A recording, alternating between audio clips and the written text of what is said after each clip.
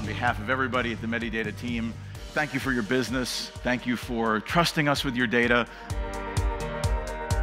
By far the most difficult thing of all is to change everything and produce something which is new. I think there is an opportunity to unleash the power of our data, but we have to operate differently in comparison uh, to what we have done over the last 20, 30 years.